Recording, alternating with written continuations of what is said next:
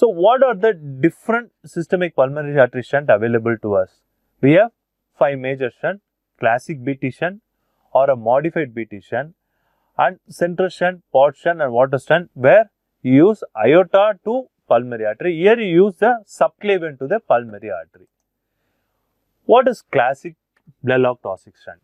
Here what we do is you bring the right subclavian artery to the pulmonary artery. This is the right pulmonary artery, this is the left pulmonary artery and this is the subclavian artery.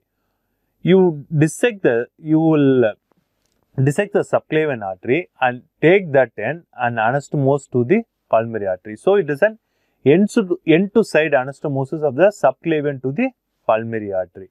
By doing this, there is an adaptive growth of PA, predictive flow of subclavian into the pulmonary artery.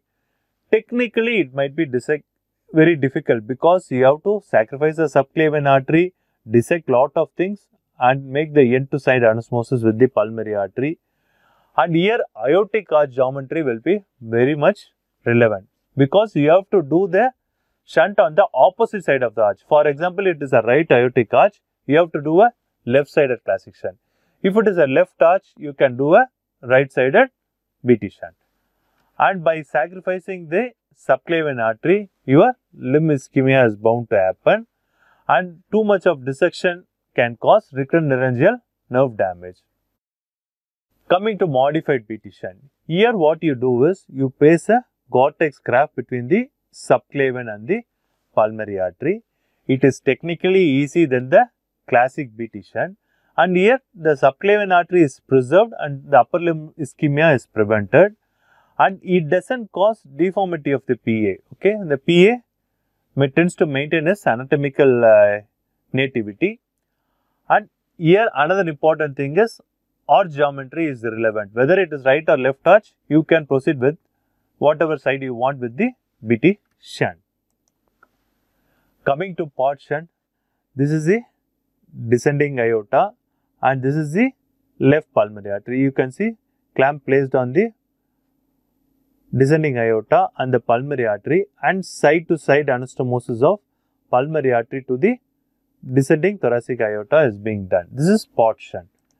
Coming to Waterston shunt, this is the ascending aorta and this is the right pulmonary artery. You have the side to side anastomosis of the ascending aorta to the right pulmonary artery. But the problem here is there might be a kinking of right pulmonary artery from the malposition opening. Coming to another major uh, shunt is a central shunt where you place a Gore-Tex graft between the aorta to the main pulmonary artery. Okay. Here all the three shunts, Potts shunt, Waterston shunt and central shunt, it is going to be difficult to regulate the flow because you are creating a conduit between the aorta and the pulmonary artery. So, it is going to be very difficult to regulate the flow. It might overflow. Why you have to do shunt in the neonatal period? Shunt is a relatively low risk procedure when compared to intracardiac repair and it provides regulated blood flow, not too much flow to the lung, but a regulated blood flow to the pulmonary arteries. And most important thing is it allows the child as well as pulmonary artery to grow. So, your intracardiac repair can be done with good results and you are avoiding cardiopulmonary bypass and provide a good symptomatic relief in the newborn period. What are the indications for shunt? The first and foremost condition is to increase the blood flow to the lung. This can happen, this blood flow to the lung can be reduced in tricuspid atresia and other univentricular conditions, pulmonary atresia, tetralogy of Fallot, neonatal Ebstein's anomaly with functional pulmonary atresia.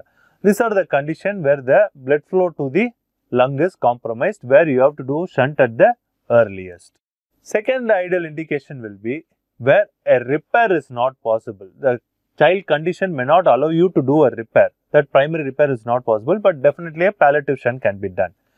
This can be anatomical, where a aberrant coronary artery like a left anterior descending causing the right ventricular outflow tract. So, a complete correction cannot be possible without opening the right ventricular outflow tract. and the LAD is crossing there. So, in those cases, we can go for a palliative procedure in the initial period, then go for complete correction when the child is child has grown up.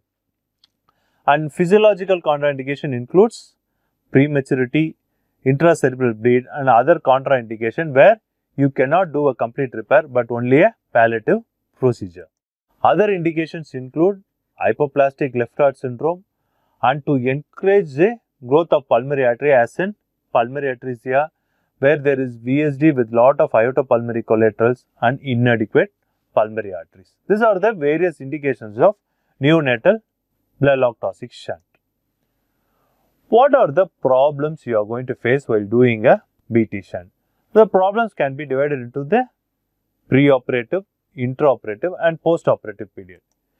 Preoperative, what you are going to face it? You are going to have a sick neonate whose saturation is going to be very, very low. Sick cyanotic neonate, that's what they call. And there is a transition of fetal circulation to a neonatal circulation. It is totally different circulation. Fetal circulation is different, neonatal circulation is different. Sometimes a ductus dependent circulation will be there and before ducts close within the 24 to 48 hours, you have to do the BT. So, it will become a dire emergency. You have to keep the ductus patent until you do a BT. And another important thing is you are going to do as an emergency surgery. So, all the problems of emergency surgery also will be there in the preoperative period.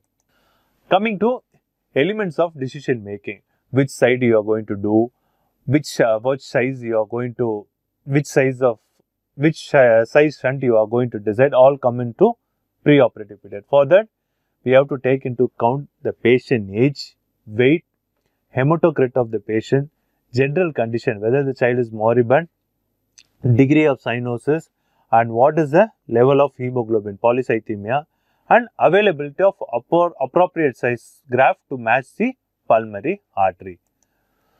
Most of the decisions come from the echocardiogram. You have to look at what anomaly you are going to deal with, whether it is a tetralogy of Fallot or a tricuspid atresia. You have to know the correct diagnosis, the size of pulmonary artery to match with the size of the graft, side of the arch it becomes very important in classic BT shunt but not in modified BT shunt and assessment of aortic and mitral valve. These are the things you should look in the echocardiogram in the preoperative period.